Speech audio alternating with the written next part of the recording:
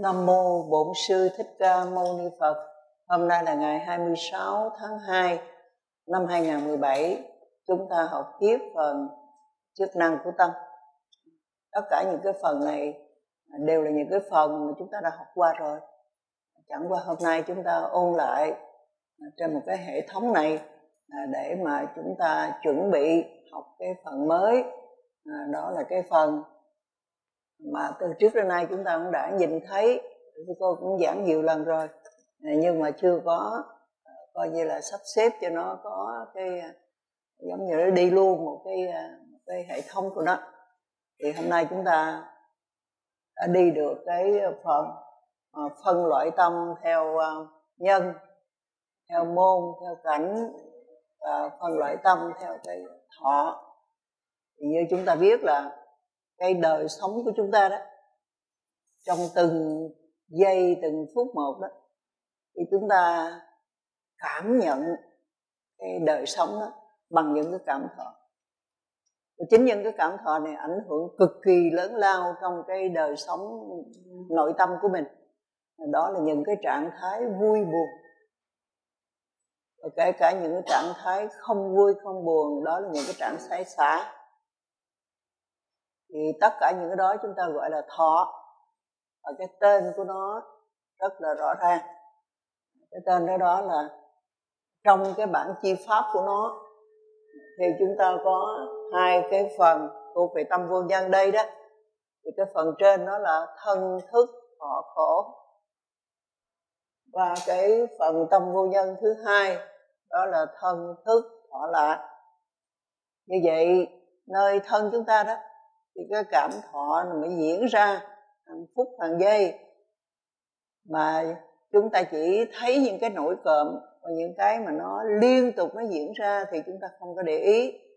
À, đó là những cái trạng thái à, thân tâm mà nó thuộc có liên quan đến thân. Tâm có liên quan đến thân thì khi cái thân của chúng ta mà tứ đại nó được điều hòa. Có nghĩa là sức khỏe của chúng ta ổn định, thì à, chúng ta hưởng được à, một cái à, trạng thái tâm mà nó có liên quan đến thân. Thì cái này tất cả chúng ta đều biết rồi nhỏ mình học rồi thầy cô cũng có nói rằng một cái tinh thần minh mẫn trong một thân thể khỏe mạnh. Như vậy khi mà cái thân thể chúng ta khỏe mạnh thì chúng ta có được một cái cảm giác phải nói là đầy cái sức sống. Và chúng ta cảm thấy phơi phới. Cái cái cái, cái, cái được gọi là nó tràn trề một cái sinh lực để chúng ta an vui trong cái đời sống. Thì nó gọi là thọ lạc. Còn khi ngược lại đó mà cái tứ đại à, nó hoạt động không có điều hòa nơi thân nó tạo nên một cái sự bất ổn một cái sự bất an. Và nó hiện ra trên một cái vùng nào ở cơ thể chúng ta ở bên trong cũng như ở bên ngoài nội tạng của nó. À, thì như vậy đó nó là một cái trạng thái mà chúng ta gọi là bệnh. Thì à, khi nào những cái mà nó bất an thuộc về thân, thân nó làm cho cái thân chúng ta không có được yên ổn thì những cái trạng thái đó nó gọi là khổ có nghĩa là đau đớn à, có liên quan đến thân. Và đi kèm với à, những cái đó liên quan đến thân á, thì có những cái trạng thái tâm nó bệnh. Chúng ta chưa có quen nói đến cái tâm bệnh nhưng mà thực chất là thân và tâm chúng ta đó đều có mạnh và có bệnh. Thì cái bệnh trong tâm chúng ta đó là một cái trạng thái thọ ưu tức là buồn rầu. Cái bệnh nơi tâm của chúng ta đó nó chính là cái ưu nói chung nhưng mà nó cực kỳ đa dạng. Đa dạng dữ lắm. Cái à, đa dạng đó đó, nó nằm trong cái mà mình gọi chung nó là cái khổ. Thì tất cả những cái trạng thái tâm gì mà nó không có vui vẻ, khi mà cái trạng thái tâm của chúng ta nó không có được bình an, thì có nghĩa là bắt đầu nó nhớm bệnh. Nó nhớm bệnh xong nó bệnh và nó bệnh nặng vì vậy tất cả chúng ta đây đều rõ, khi nào cái tâm mình không có bình an, tâm mình nó không có vui vẻ, không có phơi phới, thì tất cả những cái trạng thái nào mà nó đi không có đúng cái đó hoặc nó đi ngược lại thì chúng ta biết rằng tâm chúng ta bệnh giữa cái thân bệnh và cái tâm bệnh đó, thì cái tâm bệnh lại phải mau mau chữa trị nhiều hơn là cái thân thân hay tâm cũng vậy. Khi mà nó nhớm bệnh thì chúng ta phải chuyển đổi. Chúng ta phải thay đổi. Khi cơ thể chúng ta nhóm bệnh có nghĩa là nó báo hiệu rằng nó khó mà chịu đựng cái, những cái hoạt động sắp tới của chúng ta. Làm cái gánh nặng nó không có kham nổi. Vậy thì chúng ta nên điều chỉnh lại. Chúng ta nghỉ ngơi, bớt cái công việc lại. À, khi mà tâm chúng ta nhóm bệnh thì có nghĩa là nó đi vào một cái trạng thái nó mệt mỏi nó căng thẳng nó khó mà chấp nhận những cái những cái trạng thái tâm mà chúng ta đã trải qua. Và bây giờ nếu mà tiếp tục á, thì nó là một cái gánh nặng nó chịu đựng không được. Vì vậy chúng ta phải thư giãn. Và thường đó những cái bệnh về tâm chúng ta thì bản thân chúng ta phải tự săn sóc lấy. Và nơi cái đời sống xã hội đó thì người ta thường tìm đến bác sĩ về tâm lý học. Nhưng mà bác sĩ về tâm lý học thì cũng là một cái một cái cách để vỗ về, để an ủi, để chia sẻ mà thôi. Không có thể giải quyết, dứt điểm những cái bệnh trong tâm của mình. Tất cả những bệnh trong tâm của mình đó à, đều phải do mình tìm ra cái căn nguyên của nó à, và chúng ta sẽ à, giải nó ra từng phần như chúng ta biết trong tất cả, các cái tôn giáo thì đạo Phật là cái đạo mà có thể giúp chúng ta giải những cái căn nguyên đó ra. Chúng ta không có phải là đến với Đức Phật à, để đặt trọn vẹn cái niềm tin vào trong đó. Và nghĩ rằng là tất cả những cái gánh nặng của mình á, mình chỉ cần thố lộ ra với Phật thì à, tự động Phật sẽ giúp mình. Đạo Phật không có như thế chúng ta có thể giải bài để cho chúng ta được quân bình. Sự giải bài của chúng ta làm chúng ta quân bình. Từ cái sự quân bình đó, chúng ta sáng suốt để hiểu rằng tất cả những cái gì gây bệnh cho mình đều là do những cái điều kiện nó phối hợp với nhau đó nó không có điều hòa. Có cái gì trong trên, nó có cái gì bất ổn, nó có một cái gì lệch lạc, nó có một cái gì quá đáng vậy khi chúng ta điều chỉnh lại, chúng ta sẽ tìm tất cả những cái điều kiện, những cái nguyên nhân, những cái duyên cớ gì mà tạo nên cái sự bất ổn trong tâm.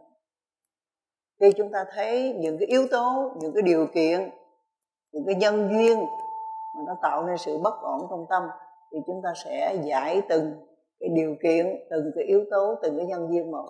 Chúng ta tìm hiểu cho rõ khi chúng ta xóa được chỉ cần một trong số những cái điều kiện, những nguyên nhân đó, thì tất cả những cái sự căng thẳng, những sự phức tạp trong tâm lập tức có chuyển đổi. Cái là chúng ta phải truy tìm cho ra. Chân lý đó là tứ đế.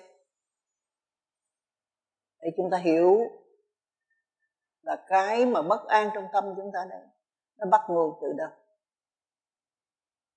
cho nên chúng ta học về tứ đế để hiểu cái tập đế và cái khổ đế đang diễn ra trong tâm. Nó ở trong tâm. Cái khổ đế có mặt, gốc của nó là tập đế. Như vậy khổ đế là hai cái tâm sân, tất cả những cái trạng thái thuộc về sân của nó. Những cái sở hữu đi kèm và cái nguồn gốc của nó, tập đế của nó là tám tâm tham đây, nó cũng diễn ra trong cái à, trạng thái tâm về tham cũng như những cái à, sở hữu đi kèm của nó. Vậy chúng ta đã nhìn thấy cái đang có mặt là cái sự bất an, cái sự bệnh hoạn trong tâm. Tất cả những sự bệnh hoạn này nó bắt nguồn từ một cái gốc bệnh hoạn khác. Gốc bệnh hoạn khác đó là chúng ta đã muốn cái gì? Chúng ta dính mắc vào cái gì? Và chúng ta nhất định không có chịu thay đổi. Chúng ta nhất định không có buông ra, không có nhả ra. Và cái đó nó hành hạ chúng ta suốt và khi nó hành hạ như thế, thì trong kinh điển có nói đến 25 cái trạng thái của khổ. Nhưng mà cái thực tế nó không nằm ở trong 25 cái trạng thái này, mà có lẽ là nó đi tới cái, những cái nhánh nó cái sự pha tạp, sự pha trộn nó chắc nó đi theo cái tỷ lệ của con người trên quả đất này.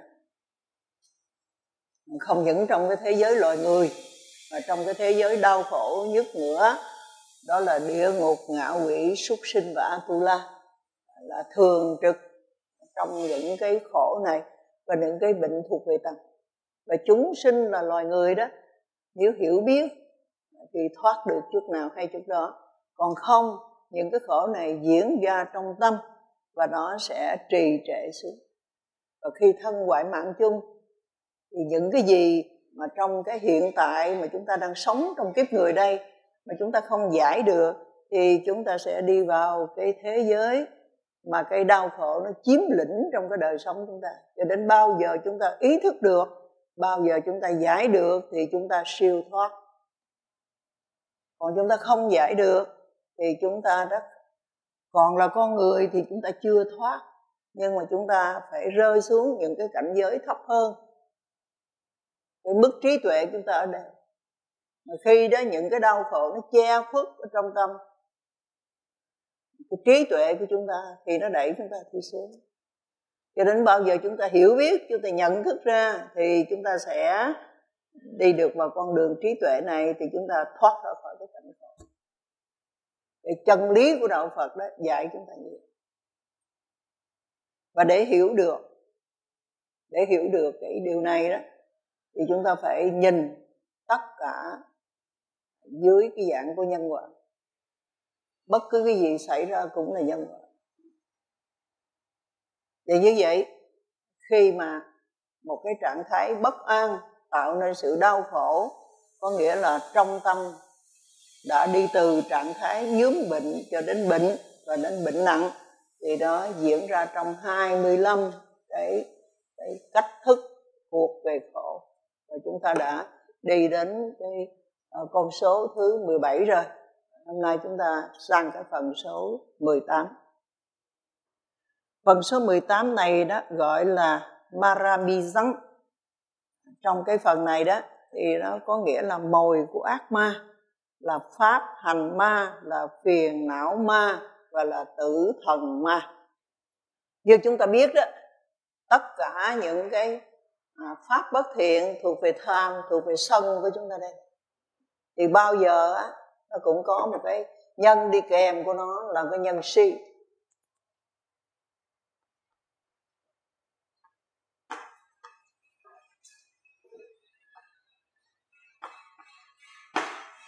Luôn luôn nó có cái này.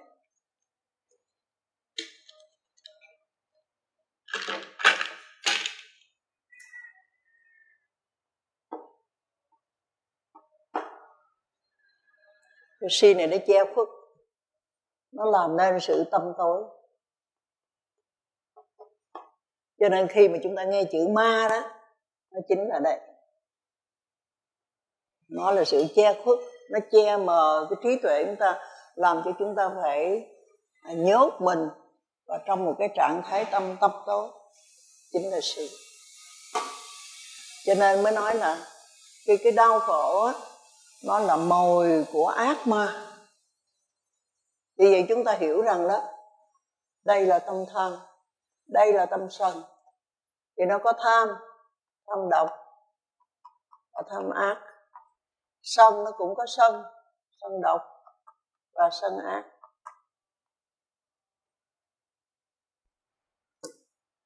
như vậy cái đau khổ, nó là mồi của ác ma mồi của ác ma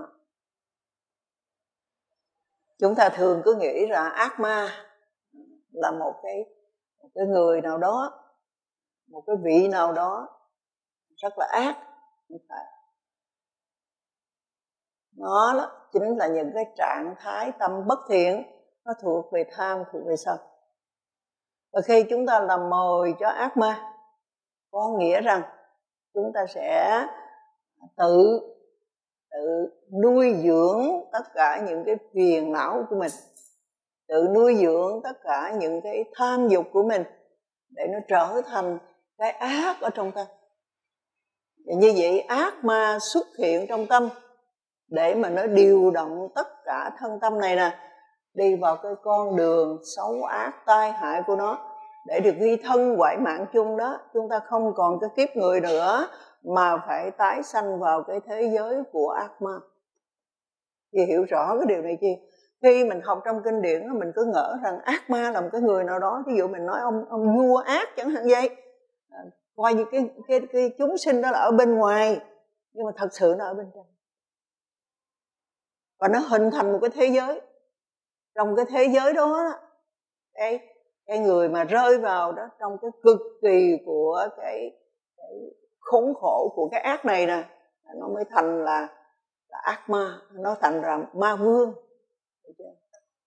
Và chúng ta đây là cư dân của ma vương. Nếu như chúng ta không giải được những cái bệnh trong tâm thì nó có ba cái cấp độ. Cho nên nói mình làm mồi của ác ma là bởi vì khi mà đau khổ đó, mình không giải cái đau khổ này ra, thì những cái đau khổ này nó tăng trưởng từ cấp độ của nó để lên đến cái đỉnh điểm của nó. Mà khi cái đau khổ lên đến đỉnh điểm thì có nghĩa là một cái bề khác của nó, là chính là cái tham này đi tới cái ác. Và như vậy, nó sẽ làm cho cái đời sống của chúng ta đó bị quay cuồng trong cái khổ đó mà chúng ta không thoát ra được. Càng lúc nó càng tăng lên cho nên là cái phần thứ hai có nói thế này. À, bởi vì nó là pháp hành ma.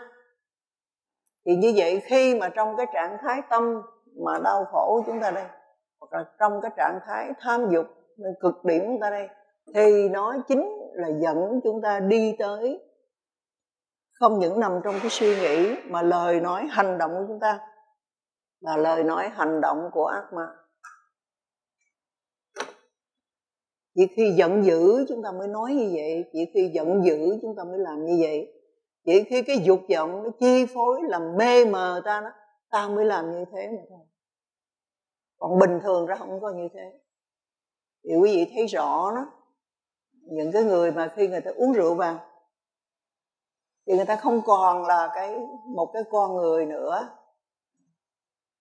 Mà cái cơn sai đó, nó chính là si đây đó chính là chìm đắm đây.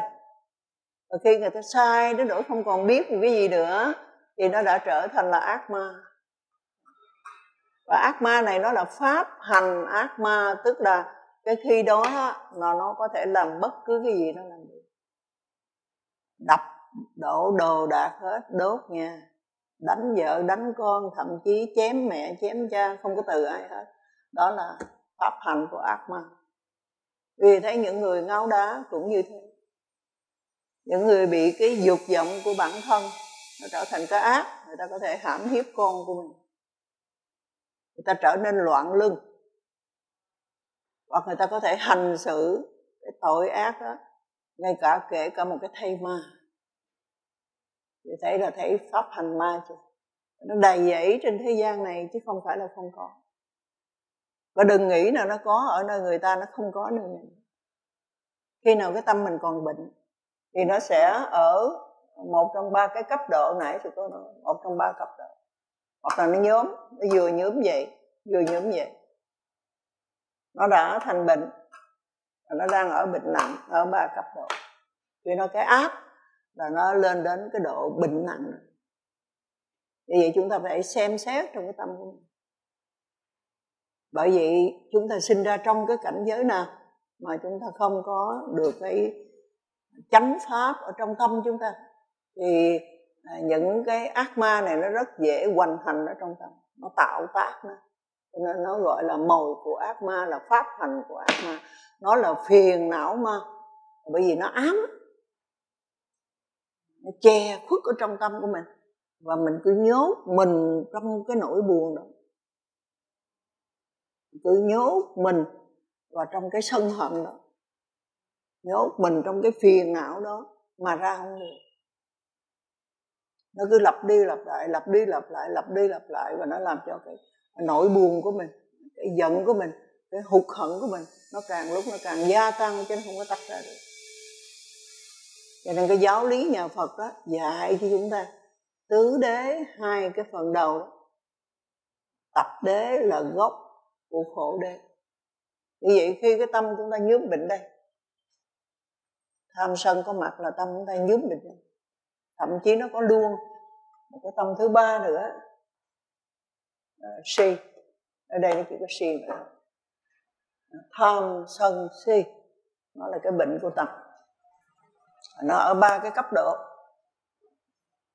Thì như vậy khi cái tâm chúng ta mà nó bệnh như vậy đó thì nó sẽ ở trong một trong ba cái trạng thái đó, hoặc là nó đi từ cái trạng thái đầu tiên nó đi lên. Luôn luôn là cái hoạt động của nó như vậy. Và khi mà thấy nó hoạt động như vậy đó, thì chúng ta phải hiểu rằng là trong cái tập đế, cái nguồn gốc của nó nằm ở đây. Nguồn gốc của nó là tám cái tâm tham này. Cái khổ nó nằm ở đây. Tất cả hai cái này nó xảy ra là nó nằm trong cái bóng tối của si này cái vận hành của nó là gì? Cho nên nhiều lần sư cô nhắc quý vị là chúng ta nên tự đặt cái câu hỏi với mình để giải nó ra cái nỗi buồn này chúng ta đã nhìn thấy đó cái sự bực bội này chúng ta đã nhìn thấy đó cái sự hụt hẫng này chúng ta nhìn thấy nó sự bất an này chúng ta nhìn thấy nó vậy chúng ta hỏi tại sao đau khổ? Muốn cái gì không được mà đau khổ? Chờ đợi cái gì không được mà đau khổ. Đòi hỏi cái gì không được mà đau khổ. Hỏi nó đi. Rồi nó sẽ trả lời cho mình biết. Phải kiên trì mà hỏi trong tâm của mình. Không có hỏi ai được cả. Vì có những cái điều người ta có thể nói ra được hết, có những điều không thể nói ra được hết. Chính cái chỗ không nói ra được hết, không diễn tả được hết, chính là cái mình phải tự hỏi vì nó được điều khiển. Cái gốc nó nằm đây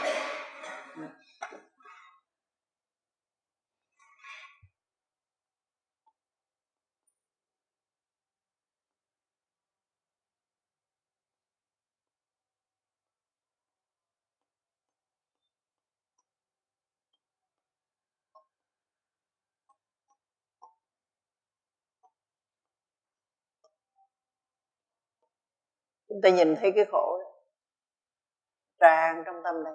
Gốc nó nằm ở đây. Phải hỏi nó ở đây. tại sao? Muốn giải nó phải hỏi ở đây. Khi mà nó giải được cái mảng nào, thì ở đây nó sẽ giải được cái mảng nào còn khi dưới này mà không có giải được, thì trên này không giải được. Cho nên nó phải giải từ cái gốc chỗ này giải và những câu hỏi rất là đơn giản, chúng ta đây đều có thể thực hành được. Tại sao không thực hành để thấy pháp phật?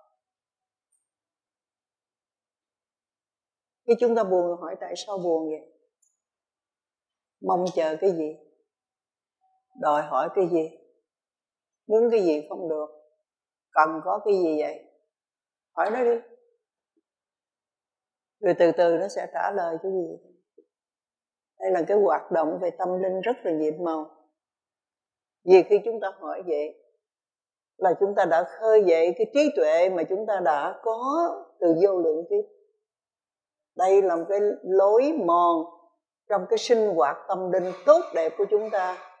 Mà trong cái hiện kiếp này nè, do cái ngăn che của ác ma này đây nè, mà chúng ta đây tâm tối chúng ta không thể. Nhưng khi chúng ta bắt đầu đặt câu hỏi, thì cái phần trí tuệ đây giống như một cái kho tàng, nó bắt đầu nó phát sáng ra. Và tự chúng ta sẽ giải mã cho mình vì hơn ai hết, chúng ta biết mình muốn gì. Vì không bao giờ cái ước muốn nó mới lóe lên, mà cái ước muốn nó đã được nuôi dưỡng, đã tiềm tàng lâu trong cái dòng nghiệp của chúng ta. Trước khi chúng ta đi tái sanh, tất cả những gì chúng ta hưởng thụ từ vô lượng kiếp, nó để lại một cái dấu ấn.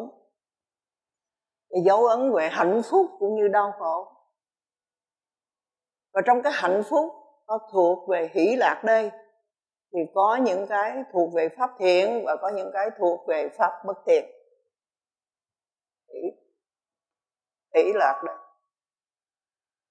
Nó có những cái thuộc về pháp thiện đây. Và có những cái thuộc về pháp bất thiện nó nằm trong các cái tâm thần nó có rồi. Bây giờ những cái cảm thọ đó nó trở lại và nó nối tiếp thì nó phát sinh lên thôi thì chúng ta đã có cái kinh nghiệm đó. Và đã hiểu rõ chứ không phải không hiểu rõ và giờ đây chúng ta tiếp tục những cái câu hỏi đó, thì tự nơi trong tâm chúng ta nó lần lần nó sẽ dạy chúng ta thừa sức để họ hiểu rằng nó nói gì đã hết chưa và đã đủ chân thật chưa?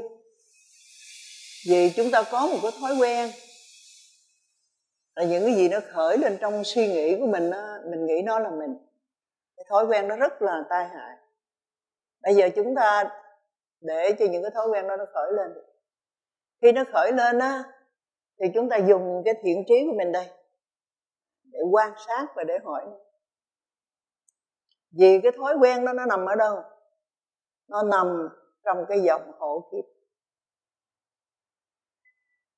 Cái dòng hộ kiếp này nè nó trôi chảy ở trong tâm chúng ta.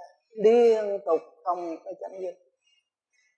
Chỉ khi nào chúng ta cắt ngang nó bằng những cái câu hỏi có tính chất thiện trí chúng ta đây, thì nó sẽ trả lời. Đây là một cái phương pháp mà giúp cho chúng ta đó tự soi sáng. Và tự giúp mình thoát ra cái khổ. Còn không, sự đau khổ này là mồi của ác ma là pháp, hành, ác ma, là phiền não ma, và nó còn gọi là tử thần ma. Khi chúng ta lầm tưởng, thì chúng ta sẽ đau khổ. Cái lầm tưởng mà sư cô vừa nói xong đó lầm tưởng là tất cả những cái gì khởi lên trong tâm của mình chính là mình. Đó là cái lầm tưởng thứ nhất. Cái lầm tưởng thứ hai đó mình lầm tưởng cái thân này chính là mình. Đó là cái lầm tưởng thứ hai. Mặc dù trong pháp tục đế đó, thân này không phải của mình là của ai, thân này không có phải chính mình là của ai, nó là pháp tục đế thôi. Cái pháp tục đế nó nằm ở chỗ nào? Nó nằm ở chỗ nó có một cái danh từ để gọi về nó đây là nó là nhân xưng đại từ. Là tôi. Người khác gọi mình là chị, là cô, là anh, là chú, là bác. Để nó xác định mình đây. Chính là mình đây. Và những gì mình nói ra, nói đây là suy nghĩ của tôi, đây là quan điểm của tôi, đây là tình cảm của tôi, đây là cảm xúc của tôi. Đó là cái cách để mà người ta đã giao tế để rằng cách người ta hiển lộ. Cái sự hiện diện của người ta trong cái đời sống, đó là hoạt động của thế gian, hoạt động của đời là pháp tục đế nhưng khi chúng ta đi vào trong cái bản thể của nó, thì chúng ta sẽ nhìn rõ cái gốc gác của nó. Tất cả nó nằm trong duyên hợp. Và khi mà nó có mặt như vậy là nó có đầy đủ nhân, đầy đủ duyên của nó nó có mặt nó hoạt động trong cái điều kiện cho phép của nó. Như vậy chúng ta phải luôn luôn để ý đến nó, quan sát nó. Quan sát của nó để biết những cái gì đó thuộc về khổ lạc của thân, thuộc về hỷ ưu của tâm. Thuộc về một cái trạng thái xã chúng ta quan sát để biết nó. Và khi biết nó thì chúng ta sẽ biết rằng từ vô lượng kiếp cho tới bây giờ, tất cả những cái cảm thọ này, cảm thọ nào thuộc về thiện, cảm thọ nào thuộc về bất thiện, chúng ta đây cần biết rõ. Cần biết rõ để làm gì? Để khi mà những cái cảm thọ hỷ mà nó nằm trong tham thì chúng ta không duy trì. Nhưng mà cảm thọ về, thuộc về thiện thì chúng ta tạo điều kiện cho những cái cảm thọ hỷ thiện được có cái điều kiện để phát sinh chúng ta cần phải rõ ràng. Chúng ta không có nhầm lẫn. Đạo phật luôn luôn dạy thì chúng ta phải có sự sáng suốt, phải có trí tuệ. Và cái trí tuệ này không phải để chỉ duy nhất mà hiểu hết cái thế giới xung quanh của mình. Hiểu hết thế giới xung quanh của mình là một cái kiến thức để giúp cho chúng ta đây đó. Cái con nhện này nè, nó được sống bình an hơn tốt đẹp hơn. Bởi vì con nhện nó tìm sự sống trong cái môi trường xung quanh. Vì vậy nó cần phải biết rõ. Nhưng con nhện này đó tồn tại hay không, tiến hóa hay không, nó còn nằm một chiều thứ hai, chiều đó là con nhện nó phải tự biết rõ nó. Biết rất rõ về hoạt động của thân và hoạt động của tâm của nó. Để trên những cái tao nhện này nè nó biết cái gì là cái tốt đẹp nhất của nó và cái gì là cái nó nhầm lẫn. Cho nên đó, khi mà chúng ta nhầm lẫn thì chúng ta sẽ trả cái giá cho sự nhầm lẫn của mình. Nên có những cái điều mà nó xảy ra người ta đau khổ đến chết. Nên nó gọi là tử thần ma. Khi chúng ta hiểu biết thì đau khổ có mặt, nhưng không để đau khổ giết mình. Bởi dùng cho ta hiểu rằng đó, cái năng lực của đau khổ là quỷ hoại. Nó đưa đến héo ta nó đưa đến đốt cháy, nó đưa đến phá hủy. Như vậy đó là tự thân mà. Nhưng chúng ta không để nó hoành hành. Quý vị thử khóc một đêm, sáng ra soi mặt mình, thì à, thấy sự héo úa thấy sự tàn tạ thấy bóng dáng của cái chết. Và cứ liên tục như thế, thì chúng ta đã bị cái khổ này nè, nó trở thành cái ác ma để nó đưa chúng ta vào cái chết. Và cái chết này, nó sẽ xuôi dòng đi xuống những cái cảnh khổ mà không biết bao giờ đó chúng ta có thể thoát ra khỏi nó. Bởi vì chúng ta đã bị tâm tối. Nhớ nhé, khi nói cái chữ ma thì có nghĩa là trí tuệ chúng ta bị che phức và chúng ta nhốt mình trong cái tâm tối. Tất cả những cái sự đau khổ, sự tham dục của chúng ta đều có sự có mặt của ác ma. Vậy chúng ta tự ngăn che mình. Đâu ai ngăn che mình đâu. Cho cái người không bị ngăn che sợ hỏi thế này. Tất cả những điều tôi mong muốn thiện hay không thiện? Tất cả những điều tôi mong muốn là làm cho cái huệ mạng của tôi đó được mỗi ngày một sáng hay thui chột huệ mạng của tôi. Mình sẽ tự hỏi và tự trả lời. Để mà con nhện này nó vừa biết đến tất cả những cái tao nhện mà nó đã xoay xung quanh nó, nhưng đồng thời sáng soi hơn nữa, con nhện này nó soi sáng được nó. Để mà nó nối những cái tao nhện này một cách khôn ngoan cho nên thay vì con người ta đi tìm gia quyến với nhau, thì người ta đi tìm pháp quyến với nhau. Cho nên một người bạn đời chỉ đi được với nhau trong một cái đoạn đường nào thôi. Chúng ta thấy nó đi có một quãng, ngay từ nhỏ rồi chúng ta chưa có bạn đời. Chúng ta có cha mẹ, có anh em, có bạn bè, không có bạn đời khi chúng ta kết hôn, chúng ta có bạn đời người bạn đời này cũng đi với ta một đoạn đường mà thôi. Cái đoạn đường đó là sau khi mà con cái đã nên người rồi đó, thì cái đoạn đường đó phải đổi. Để trở thành bạn đạo với nhau còn nếu không là xảy ra không biết bao nhiêu việc. Trống đánh xuôi, kèn thổi ngược, nhiều cái nó phá vỡ cái cái tình mà gọi, cái tình chồng vợ mà người ta gọi là bạn đời với nhau nó sẽ phá vỡ. Là bởi vì cái đoạn đường kế tiếp với nhau đó, thì người ta phải trở thành pháp quyến với nhau. Đoạn đường trước chúng ta trở thành gia quyến, đoạn đường sau chúng ta trở thành pháp quyến.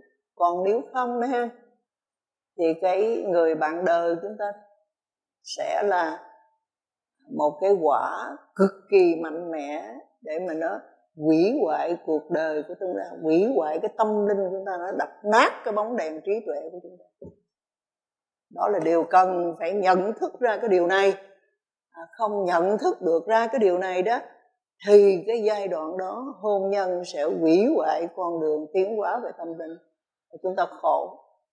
Và cái con nhện này nè nó nhốt mình nó trong một cái tao hào quá.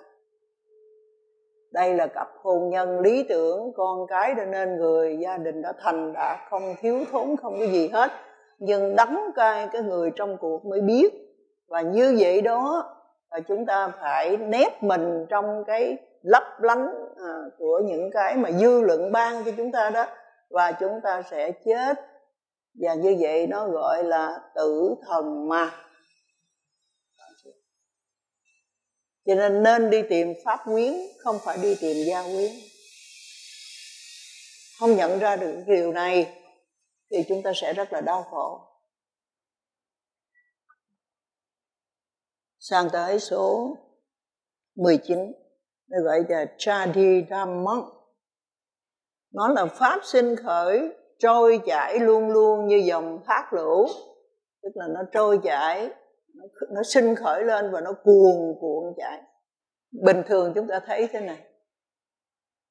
Khi mà cái tâm chúng ta bình an khi mà cái sức khỏe của chúng ta đó ở trong một cái trạng thái mà gọi là tốt không có bị cái sự bất ổn về tứ đại đó thì chúng ta hưởng được cái sự bình an. Và sự bình an này nó hiện ra trong cái hơi thở chúng ta nhịp nhàng. Trong cái cơ thể chúng ta đó, chúng ta thấy có cái sức sống. Nhưng mà cái cái khi mà cái đau khổ nó khởi sanh lên đó, thì chúng ta sẽ thấy rất rõ rằng cái hơi thở chúng ta là nó không có được nhịp nhàng, nó không có được điều hòa. Cái hơi thở chúng ta, một là nó dồn dập, hai nó bị đứt quãng, ba là nó ngắn, rất là ngắn. Thì như vậy đó khi mà cái nó hiện ra bằng cái hơi thở nó hiện ra bằng cái sắc pháp như vậy thì cái lúc đó chúng ta hiểu là trong cái tâm của chúng ta giống như chúng ta bị bị bỏ vào trong cái chảo vậy là người ta khuấy và không phải khuấy một chiều. Người ta khuấy vậy người ta khuấy trở lại gì khuấy qua khuấy lại. Tức là trong cái tâm của chúng ta đó nó rất là lung tung nhưng mà nó quần nó quần thế này. Và chúng ta thấy một cái nước đó, nó đưa lên, nó hạ xuống đưa lên, hạ xuống và nó xoáy. Nó cuồn cuộn nó vậy. Cho nên cái lực của nó là cái lực nó phá nát. Cái huệ mạng của chúng ta khi đau khổ, nó khởi sanh lên rồi nó trôi chảy những cái dòng thác đổ, thì nó cuồn cuộn như vậy nó mới chính là cái năng lực nó hủy hoại cái huệ mạng của ta. Cho nên khi thấy cái tâm mình bất an đó, phải tìm cách cho nó bình an trở lại cái cách thông thường nhất phật tử biết đó. Mình có thể niệm phật, có thể trì một cái bài kinh, có thể hành thiền, có thể thư giãn, có thể đổi cảnh, vân vân. Nhiều cái cách lắm, nhưng mà không nên để nó tăng tăng cũng giống như ông thầy thuốc, mà khi người bệnh nhân vào mà nói là nhức đầu quá, nhức đầu chịu không nổi. Không bao giờ bác sĩ dám để cho cái người bệnh nhân này đó nhức đầu, đưa lên đỉnh điểm, không bao giờ cả người ta sẽ tìm cách làm cho dịu xuống, làm cho dịu xuống. Thì trong tâm mình những cái đau khổ như vậy, mình phải tìm cách làm cho nó dịu xuống. Phải dỗ về mình, phải an ủi mình, phải chia sẻ với chính mình. Đừng chờ đợi ai hết. Vì tất cả những đau khổ này đó là do mình đã hội những cái duyên sai lệch. Và hãy nói với mình không sai lệch nữa phải tìm cách cho nó bình an lại. Và khi nó bình an lại rồi đó, thì chúng ta sẽ tìm cái nguyên nhân. Đừng đẩy nó lên. Thì cô còn nhớ con lần sư cô đi xe buýt? Thì cái à, người khách này đó, có cái chuyện bất bình với lại cái người xé vé xe buýt. Và cái người xé vé sai, cô này đúng nhưng mà cô này tức giận tức giận dữ lắm. Lúc đầu đó thì cô nói thì cái người xót vé đó có cãi lại. Nhưng cãi lại hai, ba lần rồi đó thì cái người xót vé người ta nín. Nhưng cô này đó tiếp tục cái sự tức giận của mình bằng cách là trên cái xe buýt như vậy mà cô nhảy, cô dậm xuống cái sàn xe. Và cô nói là phải ngừng cho cô ấy xuống ngay tức khắc, cô không đi trên cái xe buýt này thì cái ông tài xế mới năn nỉ ông nói, cô ơi, cô có muốn xuống? Thì cô cho tôi ngừng đúng cái trạm, tôi mới dám ngừng lại, không là tôi bị phạt. Nhưng mà cô nhất định không mà cô nhảy trên cái sàn như thế. Thì tất cả những cái người ngồi trên xe buýt thì im lặng hết. Tài xế cũng im lặng, người người xếp giá nó cũng im lặng luôn. Thì đến khi cái, đến cái trạm đó, cô xuống, cô vẫn tiếp tục, cô dậm, cô xuống. Thì sư cô mới thấy thì sư cô mới suy nghĩ là nếu như cái người này chết trong cái lúc dậm chân như vậy hoặc là bước xuống xe rồi út quá mà chết tại chỗ đó, thì bản thân mình đi về đâu cũng biết rõ rồi đấy. Cái trạng thái tâm rất là dữ dằn. Và nó đẩy lên cái đỉnh điểm của nó. Thì cái đó là hoàn toàn mình hại mình. Vì cái người soát vé ta sai.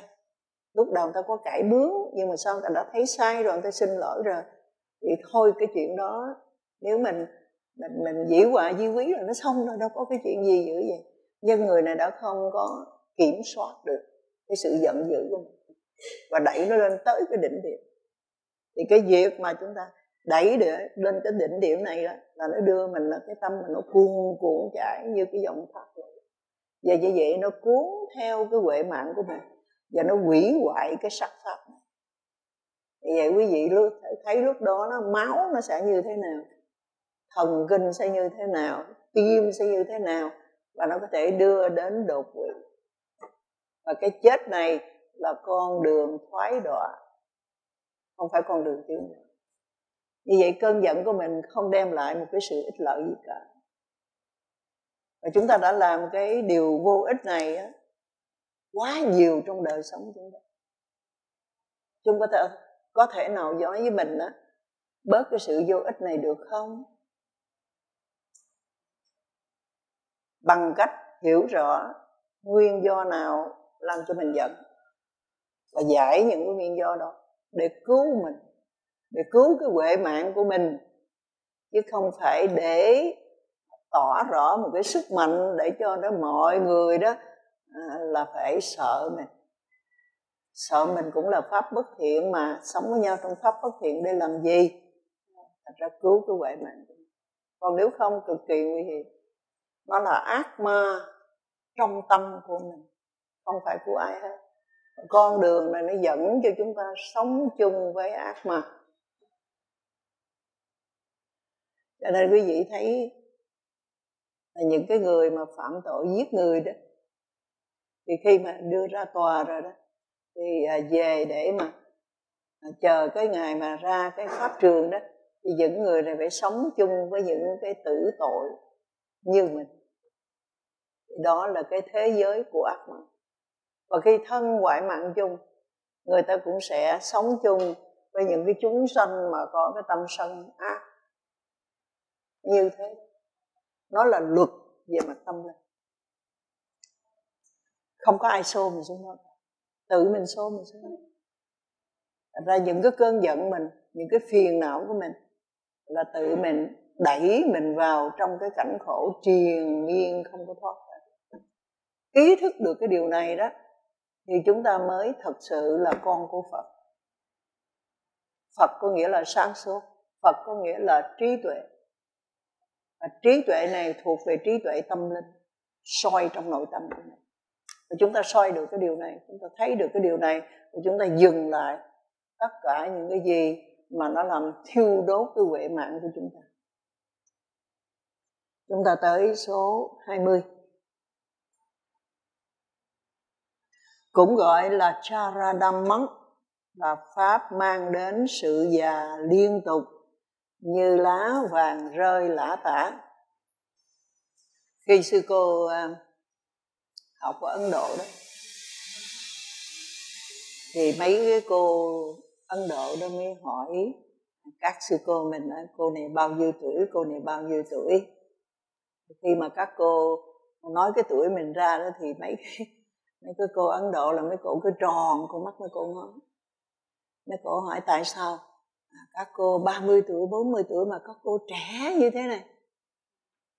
Thì phải nói rằng à, một cái sư cô mà 40 tuổi đó là với một cái cô người Ấn mà 20 tuổi đó thì thấy cái cô 20 tuổi nó muốn già hơn cái cô 40 tuổi. Cho nên là hồi đi học đó thì mọi người vẫn nói đùa với nhau đó, là Ấn Độ là một cái trung tâm mà tàn phá nhan sắc. Bây giờ gì nó à, khi cái mùa nóng tới đó, vào cái tháng tư đó, thì nó chưa bao giờ nóng dưới 40 độ, nó chỉ là 40 độ trở lên.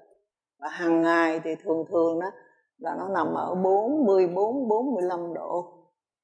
Nó dao động từ khoảng 40 cho đến 47 48 độ. Nó nóng cực kỳ cho nên là nó làm cho cái sắc pháp úa tàn rất là nhanh. Nói về cái mặt thời tiết khí hậu vậy. Cho nên những người ở cái xứ lạnh đó, thường thường người ta trẻ rất là lâu. Cái da dẻ người ta được duy trì. Thì nói gọn lại giống như đồ để tủ lạnh thì nó tươi lâu hơn là rau. Cái gì để rồi ngày nắng bên ngoài vậy thôi. Thì cái thời tiết vậy. Thì trong tâm của mình cũng vậy. Khi nào nó mát mẻ đó thì là mình sẽ trẻ lâu còn khi nào trong cái tâm mình á, mà nó bức nước nó nóng á, thì nó sẽ là sự già. Nó sẽ là cái lá mùa thu, nó sẽ là rơi rụng, chỉ có thế thôi. Nó rất là rõ ràng như thế, tại mình không chịu để ý. Tại mình thấy giận là bình thường, khổ là bình thường, buồn là bình thường, lo lắng là bình thường, hận thù, quán trách là bình thường, mình cho cái đó là bình thường. Thật sự nó không bình thường, nó là cái bệnh. Cho nên mới nói là cái đau khổ này á, là cái sự già nó sự héo úa vì nó làm cho hoại cái sắc pháp này rất nhanh. Nhanh lắm.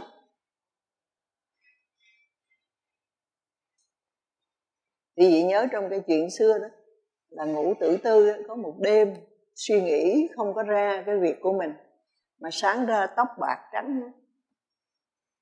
Đây là chuyện có thật, không phải không có.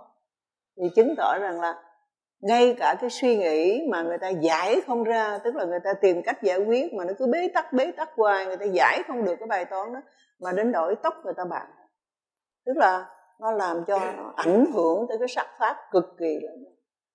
Lớn lắm. Cái này thì chắc là quý vị không có lạ gì cái chuyện mình mình trồng cái cây bông này thôi.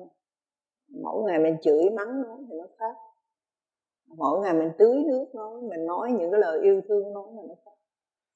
Vì nó có một cái từ trường, nó cảm ứng. Cái cái sự dữ dằn của mình, cái sự biệt thị của mình, nó tạo nên một cái từ trường rất là xấu. Nó ảnh hưởng đến cái sắc pháp này. Và cái mát mẻ trong tâm của mình, nó tạo nên một cái từ trường tốt. Nó làm ảnh hưởng tốt. Nó nó có được cái sự cảm ứng đó. bởi vì nó, mình có tứ đại, nơi này nó cũng có tứ đại mình có tám sắc bất ly, nó cũng có tám sắc bất ly.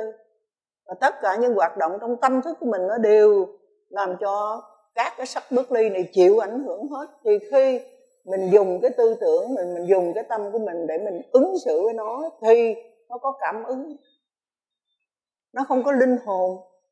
Nhưng mà những cái yếu tố về vật chất của nó về yếu tố vật chất của mình nằm trên căn bản tám sắc bất ly, thì những cái này nó đưa đến sự cảm ứng vì vậy mà làm sao mà những cái suy nghĩ của mình nó đi trên cái hệ thần kinh của mình? Và hệ thần kinh của mình nó điều và điều khiển tất cả những cái nội tạng cũng như tất cả những cái trong, ngoài thuộc về cơ thể của mình thì làm sao nó không ảnh hưởng làm sao mà những cái mầm bệnh nó ủ ở bên trong giờ đây nó lại không có cơ hội phát tác? Cho nên bao giờ sự đau khổ về tâm nó cũng đưa đến cái bệnh về thân nhất là nó đưa đến sự héo úa, sự già nua cực kỳ nhanh.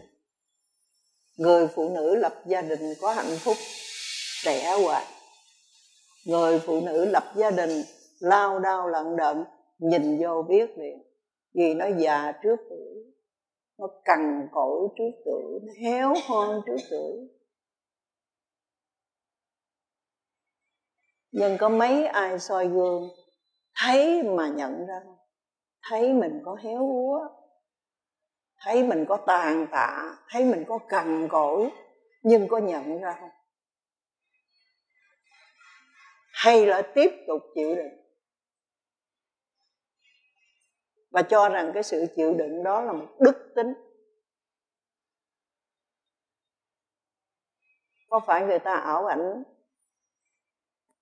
về cái lỗi lầm của mình không? Về cái sai lầm của mình không? Quý vị có con, đứa con gái nhỏ quý vị khóc. Quý vị đâu có dám để cho con nó khóc lâu. Tội nghiệp nó quá mà. Nó khóc cái mặt nó không có dễ thương nữa. Vậy cha mẹ mình nuôi mình như vậy đó. Mà đến khi mình lập gia đình, mình tàn tạ, mình héo úa mình có bao giờ nghĩ rằng mẹ sẽ nhìn đứa con gái nhỏ của mẹ mà mẹ đau lòng lắm không? Chưa báo hiếu được cho mẹ. Mà tâm tối. Để mà trói mình trong đó. Và ngỡ rằng mình có cái đức nhẫn nhục. Nhẫn nhục không phải là cái đức. Mà sự tâm tối làm cho mình phải cam chịu mình không biết cái lối thoát. Không ai dạy chúng ta nhẫn nhục cả nó quỷ hoại rõ ràng đó. nhìn đi. Nhìn phải nhận thức ra, chứ không phải nhìn để thấy cái dung nhan của mình tiều tụy, rồi khóc vì nó tiều tụy. Khóc vì nó cằn cỗi. Đã cằn cỗi là thêm cằn cỗi, đã tiều tụy là thêm tiều tụy, nhưng chưa nhận thức được cái cay đắng trong cái đời sống chúng ta đó là chúng ta đã thiếu cái trí tuệ về tâm linh để nhận ra là có nên thoát ra cái sự cằn cỗi này hay tiếp tục sự cằn cỗi. Vì cái nhân dạng ngày hôm nay, nó chính là cái nó sẽ tái sanh trong cái kiếp tới chúng ta muốn như thế sao? Cha mẹ nào sanh con ra, cũng muốn con mình khỏe mạnh cả, cũng muốn con mình xinh xắn cả, dễ thương, thông minh cả. Nhưng mà tại sao mình đi tìm cái để nó vùi dập mình như vậy mà không thoát ra? Tại sao phải trói mình trong đó? Tại sao quỷ hoại như vậy mà không mở con mắt ra nhắm con mắt lại? Lại đi con đường tâm tối. Và khi chết đó cũng thành ma.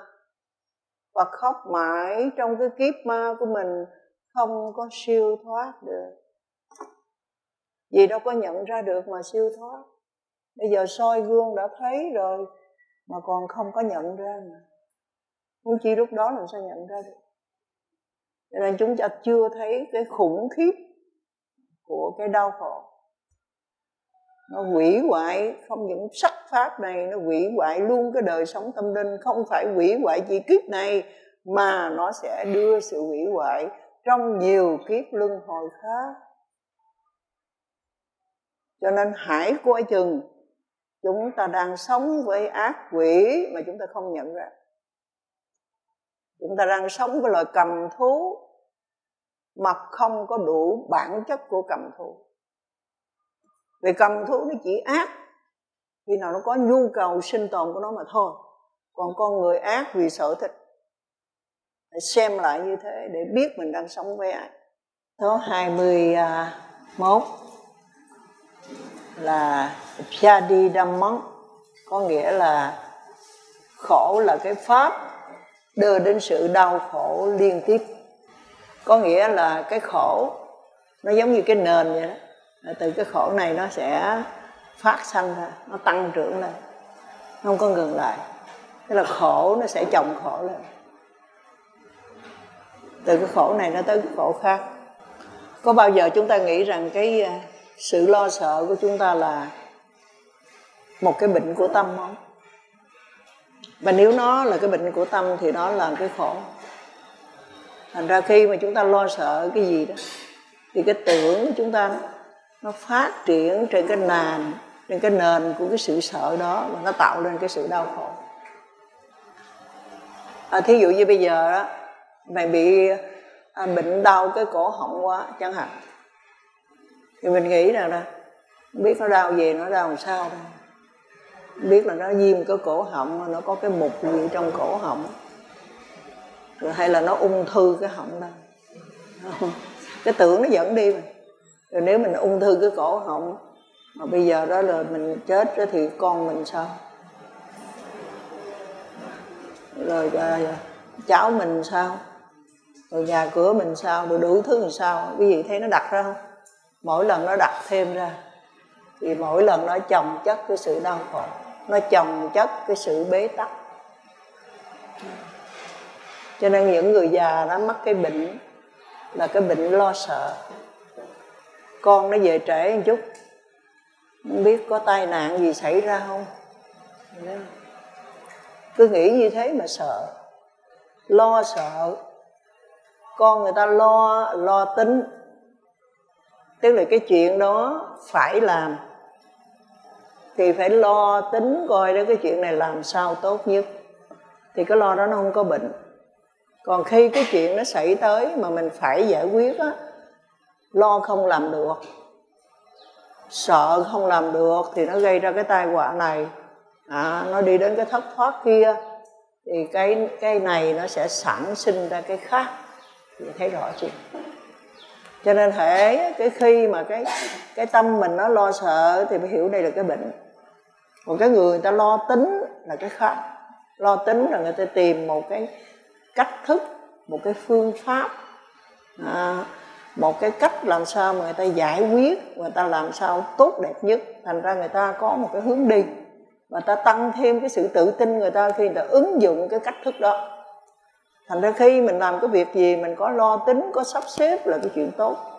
Nhưng mà lo sợ trở thành bệnh của tâm mà lo sợ này á nó cũng là cái gốc để cho nó làm cho nó những cái đau khổ nó đi theo cái sự lệch lạc của cái lo sợ đó mà nó chồng chất cái đau khổ lên.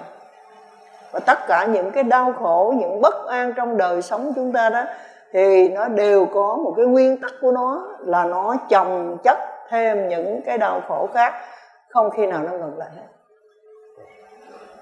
À, vì vậy mà chúng ta phải biết cách.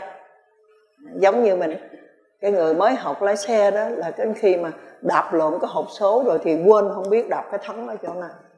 Chứ nó có cái thắng, rồi không có biết cách đạp. Thì cứ đạp cái hộp số lộn rồi là coi như là nó cứ thế mà nó nhấn tới thôi, thì cái tai họa nó phải xảy ra. Thành ra cái đau khổ của chúng ta đó là nó chồng chất cái đau khổ.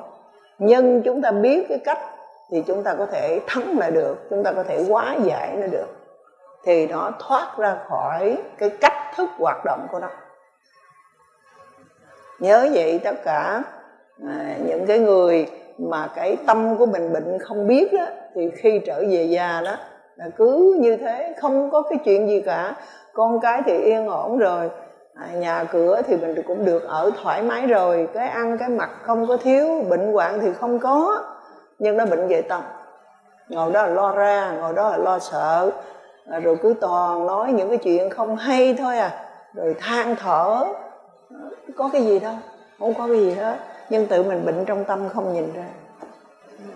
Còn có những người có những cái bệnh rất là lạ. Cái bệnh là cái bệnh khao khát. Cái người khác để ý đến mình. Cái bệnh này nó có từ cái hồi nhỏ xíu. Má không để ý tới thì ta khóc à, ta làm sao cho má phải để ý má phải bồng lên. Bây giờ già ta bệnh y chang vậy đó. À. bây giờ để ý bằng cách như thế này. Bây giờ ta không có bệnh gì hết nhưng mà ta nói trong người nó yếu yếu nó nó khó chịu lắm nó bệnh gì đó không biết nó triệu chứng gì đó không hay. Cho nên bây giờ phải đưa má đi tới cái ông bác sĩ giỏi nhất đây. Thì ông bác sĩ đó nói bà đâu có bệnh gì không có chịu đâu bác sĩ này dở thấy mồ à người ta bệnh vậy mà không biết. Đưa má đi bác sĩ khác. Ờ, Đừng có đi bác sĩ khác. Ông bác sĩ nào mà biết cái bệnh á bác sĩ nó không sao. Bà chỉ là à, thiếu ăn một chút thiếu ngủ một chút thôi. Về ráng ăn thêm một chút ngủ thêm một chút nè. Thuốc này là giúp cho ăn ngon ngủ ngon. Thì chỉ vậy thôi. Thì là vậy ông đưa thuốc bổ chứ có cái cái gì đâu. À, nhưng mà về uống rồi thì thấy là nó có ăn ngon chút ngủ ngon chút lại cảm thấy không có được. Như vậy mình mạnh khỏe rồi ai còn để ý tới mình nữa cho nên phải bệnh tiếp. À, rồi bây giờ nó để một cái rổ vậy cái ai tới nói chị thấy không tôi bây giờ coi vậy chứ nó không có được khỏe lắm. Ông bác sĩ này trị cũng không được ông này cũng không được ông này cũng được chị coi là cả toa thuốc cả rổ thuốc gì là mình già nó khổ lắm chị có biết hay không? Dạ. Nó là cái bệnh. Cái bệnh cần người khác để ý đến mình. Thành ra mình có cha mẹ già mình phải để ý nó có cái bệnh đó. Cái bệnh đó rơi vào những cái người cô đơn. À, sống nhưng mà muốn người ta săn sóc tới mình mà không ai có cái thì giờ để ý tới mình nhiều quá à, thì nó phải rơi vào trong cái tình trạng đó. Sợ hãi cái sự cô đơn. Thì thấy không?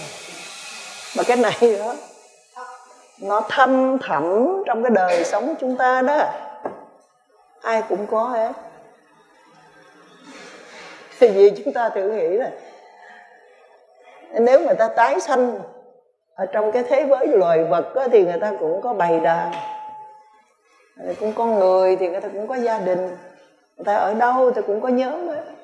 Nhưng khi chết chết có một mình khi ra đời ra đời có một mình đó, ở trong một cái chỗ tâm tối phải co rút nè, khi nó bung người ra là nó chới giới trước một cái khoảng không quá lớn và nó chới giới trước cái ánh sáng. Mà con người ta cảm thấy mình quá là bé nhỏ, quá là cô đơn. Và người ta không có chịu đựng được. Cho nên quý vị thấy không? Cái khuynh hướng là phải tựa vào cái người nuôi mình. Người nuôi mình thông thường là cha mẹ mình. Nhưng có khi không phải cha mẹ mình thì cái người nào nuôi mình đó người đó chính là cha mẹ mình. Không có rời ra được nữa. Nó phải có sự nương tựa. Rồi quý vị thấy không? Cái đời sống lớn lên nó phát triển á, thì con nhện con này nó tạo những cái tao nhện của nó tiếp theo. Và khi những cái tao nhện này rời rã, thì nó ở trong cái trạng thái cô đơn. Nó đau khổ. Một cách đau khổ kỳ lạ và nó muốn nói những cái tao nhện. Mà nó yếu ớt, nó không biết làm sao để nói. Nó nói bằng những cái toa bác sĩ. Bằng những cái lời than thở. Cho nên khi mà mình không có một cái sự vững chãi về cái đời sống nội tâm đó, thì khi già chúng ta mắc những cái bệnh gốc. Như bệnh mà cái hồi nhỏ, mình trẻ con như thế nào đó, thì bây giờ những cái đó nó sống lại khi mà cái cơ thể này bắt đầu nó suy sụp, mà nhất là khi cái đời sống nội tâm chúng ta không có định hướng, không có một cái gì neo lại cho thật rõ ràng, thật vững chãi. Và hãy nhớ một điều thế này, cái thân thể này nó sẽ đi đến sự suy yếu và sự chấm dứt của nó. Nhưng mà cái đời sống tâm thức đó, chỉ khi nào nó bệnh nó mới suy yếu thôi còn bình thường á là nó có một cái sự sống của nó và bao giờ nó cũng vươn lên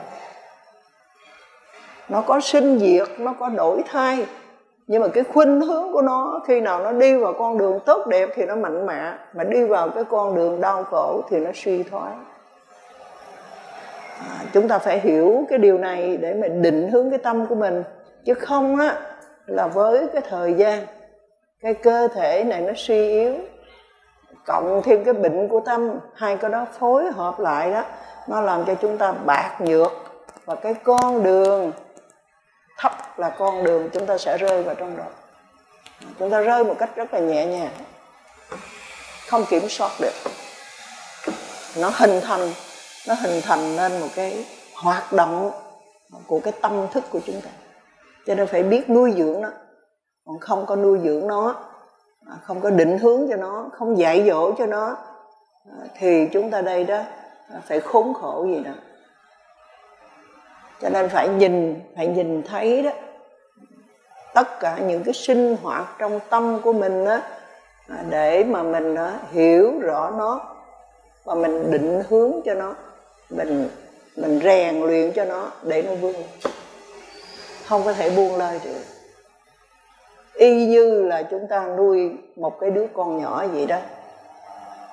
Phải biết cái tánh ý của đứa này ra sao. Phải biết cái cơ địa của nó ra sao để mà giúp cho cái cơ địa nó mạnh hơn, để mà có thể uống nắng cái tánh ý của nó. Còn nếu không à, chúng ta đây nuôi nó mà chúng ta làm cho nó tăng trưởng những cái thứ mà nó không cần phải tăng trưởng. Còn cái thứ nó cần tăng trưởng đó thì chúng ta đây không có màng tới cái chuyện đó cho nên là phải để cho nên chúng ta thấy con nít, nó muốn gì cũng được nó khóc, nó muốn gì cũng được nó dãy có đứa nó ghê gớm này nó đập đầu xuống dưới đất, đập đầu trong tường cho đến khi nó đạt được cái ý nguyện đó mà thôi thì thường thường những cái trường hợp đó, cha mẹ đầu hàng, thấy nó đập đầu vào trong tường là bó tay. À, không có muốn con mình nó bị tổn thương cái não, cho nên chịu thua. Và vì vậy nó lấy cái đó à, làm một cái cách thức mà nó đạt được những cái gì nó mong muốn. Nhưng chúng ta có bao giờ biết rằng đó cái bệnh không? Bệnh của tâm. Nó dùng cái sự dữ dằn của nó để nó khống chế người khác. Nó lèo lái người khác, nó điều khiển người khác bằng cái sự dữ dằn đó chúng ta đi thua. Và chúng ta cứ thế thất bại, không có thể giúp đỡ gì cho nó được hết nó lớn lớn lên như vậy. Một cái một cái cậu thanh niên có người yêu và cô ta bị cái bệnh đó. Tức là nếu như cô ta đòi hỏi một cái gì đó mà cậu này không đồng ý, thì cô ta làm dữ lên rồi sau đó cô ta bệnh thì cái cậu này phải ờ, dâng lời hết tất cả mọi thứ. À, không dâng lời thì cô ấy bệnh rồi cậu này chịu không nổi. Thì mình đã thấy trước rằng cái cuộc hôn nhân này là cuộc hôn nhân bệnh hoạn. Và nếu như mình không có cái cách gì để giúp đỡ cho cái người bạn gái này, thì mình sẽ trở thành nạn nhân của cái của cái tâm bệnh này mà thôi không có thể nào khác hơn cả. Như vậy từ trong gia đình của cha mẹ, nó sẽ đi đến cái đời sống riêng của nó. Và nếu như cái đời sống xã hội này không đáp ứng của nó, thì chúng ta sẽ thấy một là nó sẽ hủy hoại cái đời sống xã hội, hai là nó hủy hoại bản thân nó, cái bệnh đó như thế. Đó cho nên chúng ta có nhìn thấy những cái nhân cách rất là lạ lùng, nhưng mà nó không lạ lùng À, đối với Phật pháp, bởi vì nó là cái bệnh của tâm. Chúng ta hiểu vậy để đừng có đưa cái tâm mình đó vào cái chỗ bệnh hoạn. Phải kiểm soát nó và thấy rõ nó vậy và cho phép nó ở một mức độ nào đó mà thôi. Chúng ta sống trong cái cõi dục này. Những gì chúng ta mong ước mà không đáp ứng được, mà chúng ta cứ bị khao khát, bị hao hụt như thế cũng là bệnh trong tâm mà chúng ta đó, thỏa mãn nó quá mức. Cứ tiếp tục thỏa mãn nó cũng là bệnh trong tâm phải cho phép nó ở một mức độ vừa phải mà thôi. Và cái sự vừa phải đó chỉ một mình mình mới biết mà thôi. Khi nào mình quá đáng, mình biết. Đó. cho nên đó là những cái cách mà chúng ta quân bình lại chứ đừng có để cái tâm mình nó vượt quá cái ngưỡng của cái sự cho phép. Thì nó đem lại cái tai hại cho mình rất là nhiều. Ờ, như vậy cái đau khổ này đó là nó đưa đến cái đau khổ liên tiếp. Và cái 22 nó là Sokadamon là pháp đưa đến sự sầu muộn. Điều này thì quá dễ hiểu rồi. Khi người ta đau đớn về thân người ta đau khổ về tâm thì không bao giờ có sự an vui. À, cho nên đây là cái pháp mà chỉ đưa đến buồn rầu mà thôi. 23 gọi là Paridevadamman là pháp đem đến sự bi ai sự thảm não sự khóc than. Khi cái đau khổ nó phát sanh lên trong tâm đó làm cho người ta đó cứ than oán rồi cứ rên rỉ cứ than oán cứ trách móc cứ cằn nhằn. Và làm cho cái cái tâm mình đó, nó bị bức bách nó bị não hại. Và nó làm cho cái cái cái, cái trong trong cái tâm mình đó, nó cứ rên rỉ hoài. Và đây là một cái pháp lậu. Tức là những cái đau khổ này à, nó như những cái chất thải nó cứ rỉ ra ngày đêm. Và nó hành hạ trong cái tâm của mình và như vậy chúng ta nhớ thế này, giống như mình trồng một cái cây mà khi mà mình à, tưới một cái loại nước mà cái à, nước này tuy nó không nhiều nhưng mà mỗi lần á mình tưới vô thì nó héo một lần rồi xong mình tưới nữa nó héo nữa ví dụ người ta tưới một cái nước mà trong đó có những cái loại phân bón mà nó đậm đặc thì khi mà người ta tưới vào trong đó thì cái cây này nó phải héo nó cứ như vậy hoài thì chúng ta phải hiểu cái cây này đi về đâu rồi. Như vậy á khi trong cái tâm của mình mà những cái dục vọng của mình nó cứ mỗi ngày nó tăng lên thì nó là những cái độc dược. Nó cứ mỗi ngày nó làm héo một chút mỗi ngày nó làm héo một chút. À, khi mà trong cái tâm của chúng ta nó cứ phiền não nó cứ đau khổ là đó là chúng ta đang nhỏ axit xuống. Là cái huệ mạng của chúng ta. Và ngay cả cái thân của chúng ta. Thì chúng ta hỏi, như vậy nó có thể tồn tại được hay không? Cái điều đấy chúng ta thấy rõ. Hoặc là những cái dục vọng mà thuộc về cái tham đắm của mình. Ví dụ như những cái mà chúng ta nghiện thì chúng ta biết rồi. Những cái người mà nghiện rượu đó. Thì cô gặp một cái một cái người đó. Cô nói là ông xã cổ đó. Khi nghe sư cô à, nói về cái mấy cái người nghiện rượu thì ông cười. Ông nói mấy chục năm nay đó, ngày nào ông cũng uống, đâu có sao đâu. Ông đâu có sai xỉn, ngày nào ông cũng uống thôi. Thì sư cô nói thế này nè. Không sai xỉn không có nghĩa là tốt. Là tại vì cái à, giống như cái rễ cây vậy đó. Mà bây giờ mình à, không có ngâm trong, mình không có tưới cái nước, mà mình tưới trong những cái chất độc, ví dụ rượu hay những cái chất quá đáng, thì nó đâu chết ngay đâu. Nó từ từ rồi mới chết. Còn cái thần kinh của mình á, mình ngâm tẩm trong cái rượu đó thì nó chưa chết đâu. Nó đâu chết liền đâu. Nó thấm lần lần, nó thấm lần lần rồi nó sẽ đưa đến cái gì nó muội được. Như chúng ta học trong cái bài về sắc pháp á chúng ta thấy là cái nghiệp của mình á à, ngay trong cái à, ba cái thành phần mà thuộc về thân đầu tiên là nó có cái nó gọi là cái à, sắc mà thuộc về cái à, cái à, nó gọi là sắc tâm á. Không phải nó nó nó thuộc về cái à, cái cái hệ thần kinh á. Cái chỗ nó gọi là, là cái cái sắc ý vật nó hình thành 10 thành phần của sắc ý vật. Thì 10 thành phần của sắc ý vật này nó có tạo nên cái hệ thần kinh. Và nơi mỗi người đó, tất cả những hệ thần kinh thuộc về ngũ căn và tất cả luôn cả thân thể nội tạng này đó, nó hơn nhau ở chỗ là cái sắc thần kinh nhạy bén và sắc thần kinh kém nhạy bén hơn.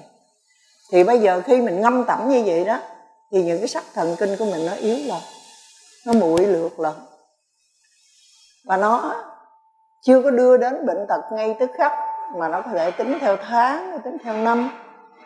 Rồi đến khi mà nó thấm lần đó là nó chết như vậy đó thì cái đời sau á, khó mà có thể nói rằng mình có được một cái sự nhanh nhẹn một cái sự sắc bén. Không thể thể có được. Và con đường của súc sinh là con đường gần kề nhất khi thân ngoại mạnh trực cho nên không có không có coi thường được vì tất cả những cái pháp này nó con đường đi của nó là như vậy. Không có ngâm tẩm mình trong là cho nên là cái đau khổ này đó đưa đến sự rền rỉ đưa đến sự khóc than. Và nó là cái pháp lậu nó rỉ ra. Và nó làm cho đó cái đời sống về nội tâm của mình cũng như những cái sắc pháp của mình đó, nó bị bạc nhược chúng ta đến số 24 cũng gọi là Upayasa Dhammam là pháp dẫn theo sự thống khổ thê lương. Có những người đã dùng cái ác của mình để gieo đau khổ cho người khác. Giết người ta để cướp của, hãm hại người ta tới chết để đoạt những cái gì người ta có. Thì đây là cái ác, gieo rắc cái đau khổ cho người khác. Còn riêng mình á thì được thỏa lòng. Nhưng mà khi cái ác nghiệp này tạo rồi đó thì người ta không hiểu cái lực của nó. Là khi cái ác nghiệp này tạo rồi đó, thì cái pháp hối nó phát sinh không không có đơn giản à, như là trong phim ảnh như là trong những cái game. Khi mà cái vật nào cản trở thì phải phá tan cái chướng ngại vật. Chướng ngại vật đó dẫu là một người hai người ba người năm người mười người không thành vấn đề. Và người ta đó cái ác người ta diễn ra rất nhanh và rất lẹ là nhưng người ta không nghĩ tới cái mà mình gieo ác cho người khác á, thì bản thân mình ở trong cái tâm của mình khi gieo cái ác rồi cái gì nó xảy ra. Bây giờ chúng ta nói. Vì chúng ta sinh ra làm người chúng ta có trí tuệ còn khi xuất sinh nó không có cái này. Thành ra xuất sinh nó không có pháp hối.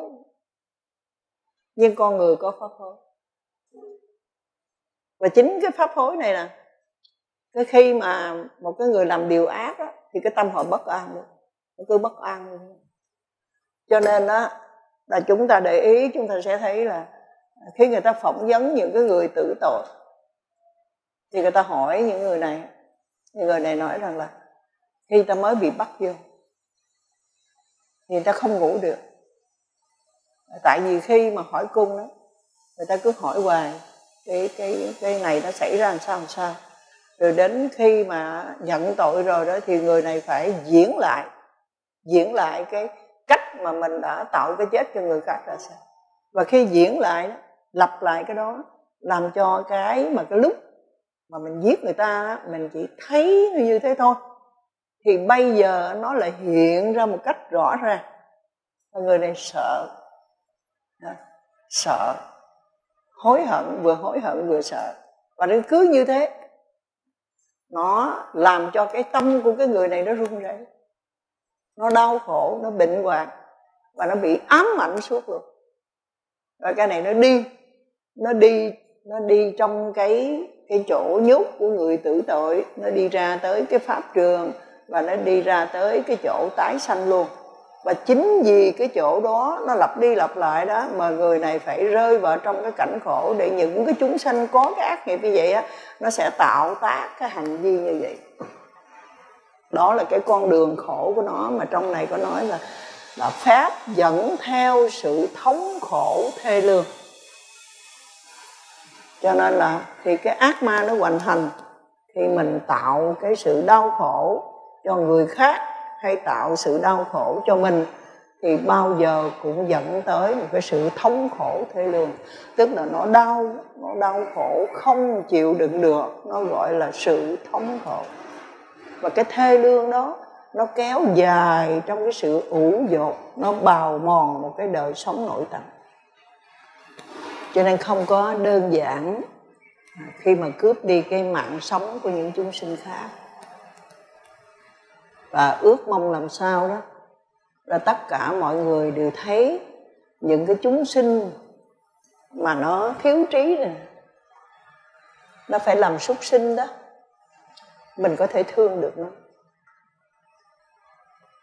Bởi vì mình chỉ cần che khuất cái này á trong cái giờ lâm chung của mình á, thì cái con đường mình vào trong cái thế giới đó cũng như mình đi ra chợ vậy thôi không có gì khó khăn cả. Làm sao mình thương nó? Để mình thấy nó có lục căn nó sống trên cái mặt đất với mình mình cũng có lục căn để mình đừng giết nó. Mình không những giết người ta mà còn ăn thịt người ta. Mà trong lòng mình cũng có máy động sao? Để cái trí tuệ này, cái từ bi này để đâu hai cái này nó đi đâu?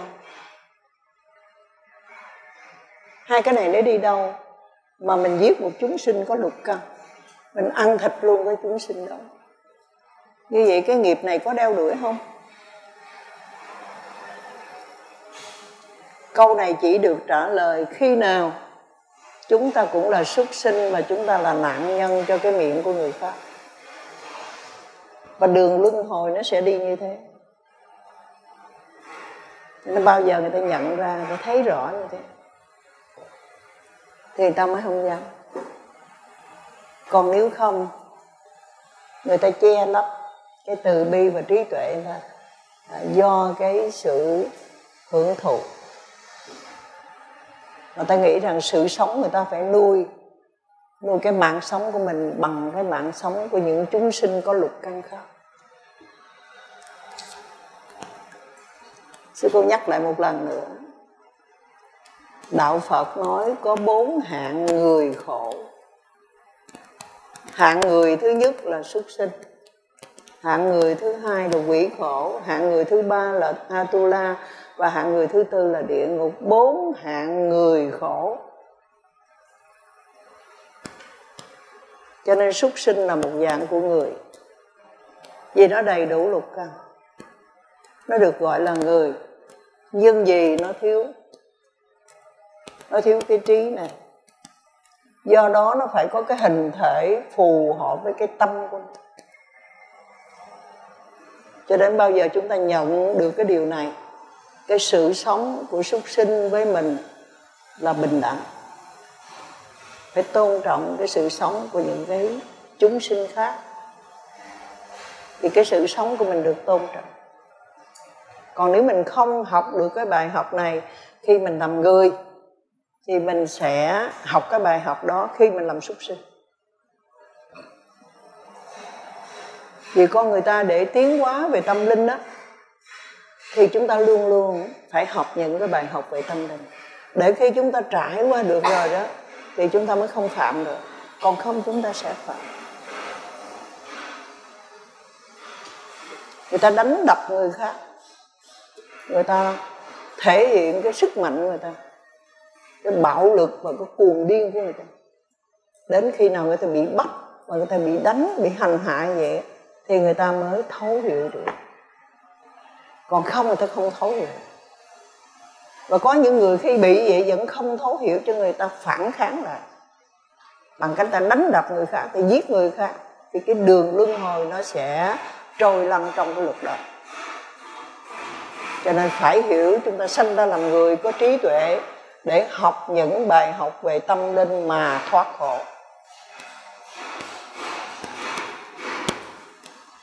Số cuối cùng là 25 là Sankilesa Dhammam có nghĩa là pháp tích tụ những điều phiền tối như tham sân tà kiến.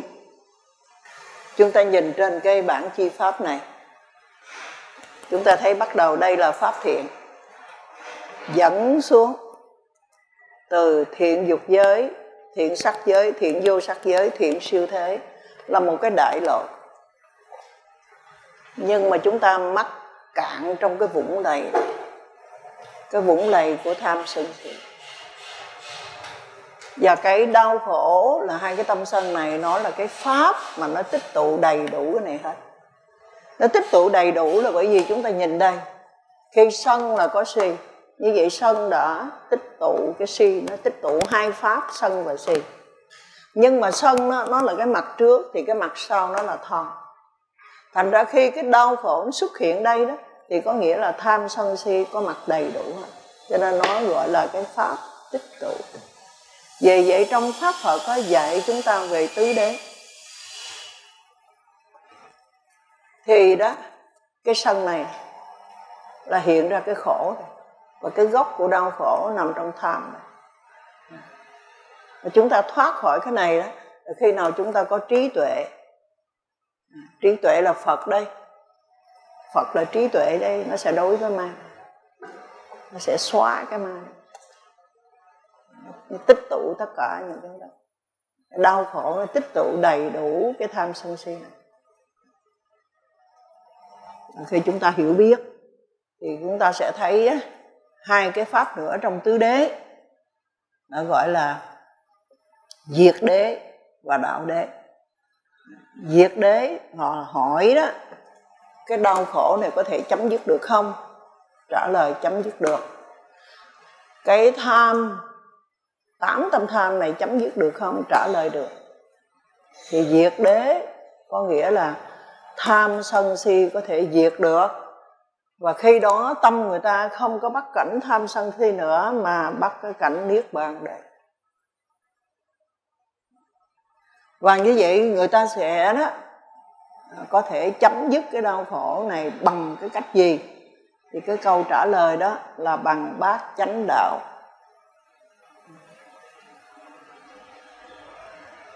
Trong bát chánh đạo thì thu gọn lại đó là nó gồm có giới có định và có tuệ. À, con đường mà để chấm dứt cái sự đau khổ đó là con đường của giới định tuệ. Nó là cái nhân thứ tư trong cái bát chánh đạo. Nó là cái nhân của diệt đế. Như vậy, không nói theo cái cái giới là chánh ngữ, chánh nghiệp, chánh mạng mà nói rằng mỗi người chúng ta đó, ai có năm giới giữ năm giới, ai có tám giới giữ tám giới, ai có mười theo giữ mười giới tùy theo mình thọ bao nhiêu giới. Nhưng mà cái chánh yếu trong giới này thì chúng ta đã học rồi. Nó là ba cái đây. Chánh ngữ, chánh nghiệp và chánh mạng, ba cái.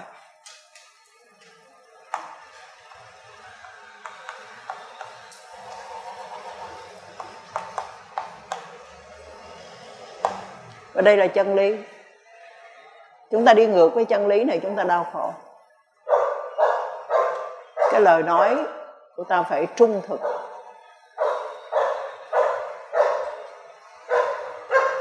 Không có được quanh quanh co co, không có được quẹo, quanh quẹo. Không được nói lời hai lưỡi, không được nói láo, không nói lời xảo trá, không có nói những lời phù phiếm. Cái nào chúng ta tránh được cái này chúng ta đi con đường chánh ngữ thì chúng ta an vui.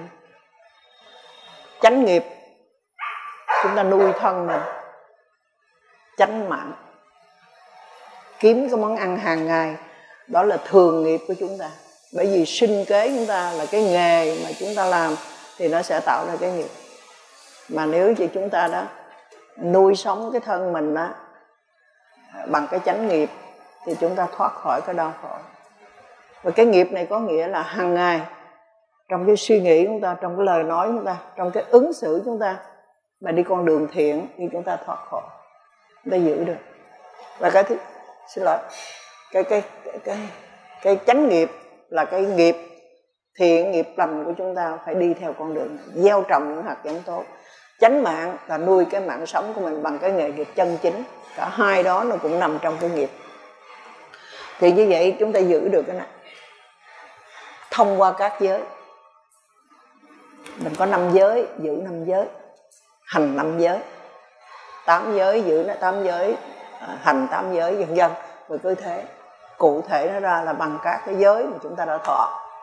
Cái thứ hai định là làm cho cái tâm chúng ta được an. Thì nó có ba cái. Có ba cái chánh. Chúng ta sẽ có à, chánh à, chánh niệm chánh tinh tấn và chánh định. Và tuệ thì chúng ta có chánh kiến và chánh tư duy.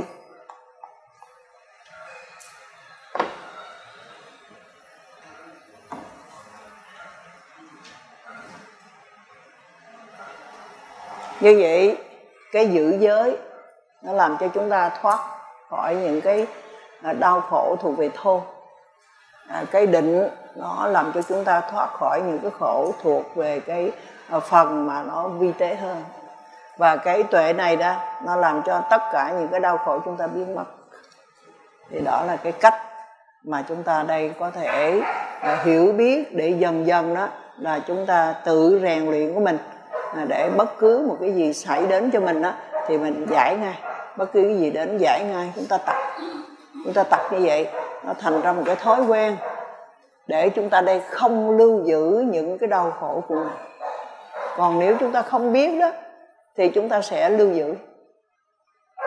Và khi chúng ta lưu giữ vậy, có nghĩa là chúng ta tích tụ hết tất cả những cái pháp quế nhiễm nó thuộc về tham sân si và chúng ta đi trên cái dũng lầy này mãi mãi trong cái luân hồi này đó cái dũng lầy đau khổ này đó à, dành cho bốn cái cảnh khổ cho bốn hạng người khổ súc sinh quỷ khổ atula và địa ngục. Để chúng ta đi con đường này. À, vậy nên nhớ rằng cái đau khổ nó là một cái pháp tích tụ. Và chúng ta đây có thể diệt được cái này bằng cái con đường của bát chánh đạo và trong tất cả những cái à, bài học của chúng ta à, trong vi diệu pháp là bao giờ cũng đưa chúng ta đi vào cái con đường của bát chánh đạo cả. Những cái này là chúng ta cũng đã học qua rồi. Và tất cả những cái giới thì chúng ta đừng tưởng rằng mà chúng ta thọ năm giới có nghĩa là xong đâu. Không phải đâu. Thọ mới bước thứ nhất mà. Khi cái vị thầy truyền giới cho mình đó, là mình nhận giới bằng cách mình đọc lại vị thầy truyền giới mới nói rằng là hãy đọc theo thầy. À, giới thứ nhất con cố ý tránh xa sự sát sanh. Thì mình lặp lại như vậy có nghĩa là vị thầy này truyền giới giờ mình đã thọ giới. Mới bước thứ nhất mà. Bây giờ bước thứ hai đó là mình có phạm cái giới này không? Nếu mình không phạm có nghĩa là giữ được giới. Nhưng mà giữ được giới nó có hai mức độ. Giữ được giới thô và giới tế có giữ được không? Và cái thứ ba nó hành giới và cái thứ tư nó là thành giới. Thì nội cái này là cái thứ nhất nè mà mình làm được á, thì cái cái những cái đau khổ mà thuộc về thô nó sẽ không có phát sanh nữa. Mà nó đã phát sanh rồi đó thì nó sẽ giải được cái này. Ví dụ như mình nói cái giới thô sư cô giảng về. Giới thứ nhất con cố ý tránh xa sự sát sanh. Sự sát sanh á là cái sân này nó ở cấp độ thứ nhất, sân sân độc và sân ác thì cái giới thứ nhất đang nói tới cái này. Con cố ý tránh xa sự sát sanh, giữ được. Không có giết chóc chúng sanh nào hết, giữ được. Nhưng mà hai cái phần trên này giữ được chưa? Nó gọi là giới tế. Tức là còn nóng không? Còn. Còn cằn nhằn không? Còn vậy là giới thứ nhất. Còn phạm cái phần thô đúng không? Phần tế. Phần thô không phạm phạm phần tế. Rồi nó tế, nó còn tế nữa. Chưa đâu. Chi ly rồi bây giờ mình không có nghĩ ác, không có làm ác, không có gì hay hết đó nhưng mà coi cái tuồng cải lương thấy ghét mấy thằng nịnh, mấy thằng phản quá. vua bắt được chém đầu nó khoái. Thích quá. Phải vậy mới được chứ. Ai mà nuôi dưỡng cái tuổi đó chi vậy đâu cái đó cái nụ cười đó không phải nụ cười của thiện đâu mà nụ cười đó là tham hỷ đó. Thấy chưa? À, cho nên mà nó lại đồng đồng ý với cái gì? Đồng ý tới cái là phải chấm dứt phải hủy hoại cái đó đi thấy không? Nhưng mà đâu có phải hủy hoại bằng cách giết. Cái thân này đó, nó chỉ bị cái tâm ác sai sử thôi. Chứ tự bản thân của nó nó không có biết ác hay là hiền để nó làm. Vậy tại sao mình nhầm lẫn? Tại sao cái cái chúng sanh này là nó làm cái ác là bởi vì lúc đó cái tâm ác của nó sai sử cái thân bây giờ mình giết cái thân để chấm dứt cái tâm thì mình có thấy mình sai không? Mà mình lại tán đồng với cái cái giới thứ nhất này nè, là đưa đến cái sự giết chóc, cái chết của người khác, của bất cứ ai, không có đem lại một cái lợi ích gì cả. Nhưng mình tán đồng cái này thì có nghĩa là mình phạm trong cái giới thô này rồi chứ còn gì nữa đâu mà không phạm vì chúng ta học về tâm, chúng ta biết rằng tâm người ta luôn luôn thay đổi. Người ta có cái tánh dữ thiệt, nhưng không phải lúc nào nó cũng lên đến đỉnh điểm của nó. Như vậy thì giết cái người đó không có nghĩa là chấm dứt cái ác nơi người đó. Và chúng ta thấy nhiều cái nhà tù ở trên thế giới này đó, khi cái người đó vào trong đó ở tù, cái lúc ta ở ngoài đời không biết chữ vô đó nói, giờ tôi vô đây tôi muốn học chữ để tôi đọc báo được, cho học liền. Muốn nghiên cứu cái gì tôi cung cấp sách cho nghiên cứu. Nó tạo điều kiện hết. Còn tới giờ nào tử hình thì tử hình. Nhưng mà để chi? Để cho cái tâm người ta có thể hướng về cái điều tốt, được chút nào mừng chút đó, và có khi người ta thay đổi. Tôi cô có đọc một cái tài liệu thật về một cái cậu này là người Thái còn trẻ lắm. Bị bắt và bị kêu án tử hình ở Mỹ. Thì à, không biết làm sao mà cậu này không có không có khai ra cái gì. Khi người ta kết tội cậu thì cậu nói cậu không có phạm tội. Nhưng mà nói cậu biện minh thì cậu không biện minh. Nhưng mà suốt trong cái thời gian đó, thì cậu có một cái yêu cầu đó. Là cậu cậu muốn gặp một cái nhà sư. Và cậu thỉnh cầu cái nhà sư đó trong cái thời gian của cái à, trại giam nó cho phép đó, thì à, cậu được gặp để nghe pháp. Và cuối cùng đó là cậu xin quy y. Và cuối cùng đó cậu xin xuất gia với cái vị sư này. Thì người ta đều cho phép hết. Nhưng mà cái khi mà đưa ra pháp trường để mà xử cậu đó để mà chích cái thuốc độc cho cậu chết đó, thì người ta không cho mặc y áo nhà tù. Bởi vì người ta không có à, là xử mà coi như là cái người tử tội này là một người xuất gia không có. Nhưng mà thời gian cậu còn sống thì cậu được quyền xuất gia. Ở trong tù được làm cái lễ thọ giới đó. Nhưng mà khi mà cái bản án này thi hành đó à, thì cậu phải bận cái đồ của người tử tội. Thì như vậy cái luật này nó rất là đúng ở cái chỗ đó là cái tâm người ta trong cái lúc tâm tối dứt thì người ta trở thành ác. Nhưng mà con người ta đó nó vẫn còn cái cái cái thiện ở trong tâm đây còn có sự sáng suốt đây. Cho nên người ta có thể hướng về cái điều lành. Bởi vì trong cái luân hồi đó, nếu như những người này còn tiếp tục bị bức bách đó thì khi mà họ chết rồi, họ sẽ sanh ra thành quỷ ác. Và họ lại tiếp tục cái con đường tung hoành đó nữa, thì không có đem lợi cho ai cả. Cho nên là phải hướng người ta về cái điều thiện. Thì cái tâm mình cũng như vậy. Khi nó rơi vào trong cái đau khổ thì cái khuynh hướng của nó bao giờ cũng là cái khuynh hướng đi tới cái sự hủy hoại. Nó có hai nhánh nó hủy hoại. Một là nó hủy hoại tất cả những gì liên quan tới nó. Hai là nó hủy hoại chính nó. Mà phần lớn đó là tất cả sự đau khổ đều là hủy hoại chính nơi thân và tâm của cái chúng sinh nào mà để cho những cái pháp thuộc về đau khổ phát sinh lên trong tâm.